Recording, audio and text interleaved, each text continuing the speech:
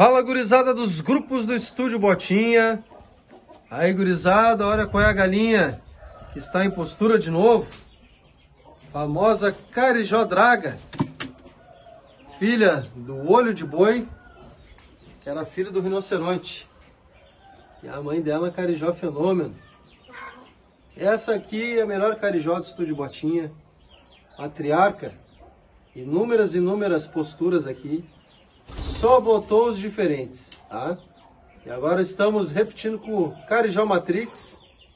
Carijó de cinco apresentações. Todo mundo conhece o Matrix. Já mais do que aprovado na cruz aqui também. Vamos tirar os carijós diferentes, repetição de cruza.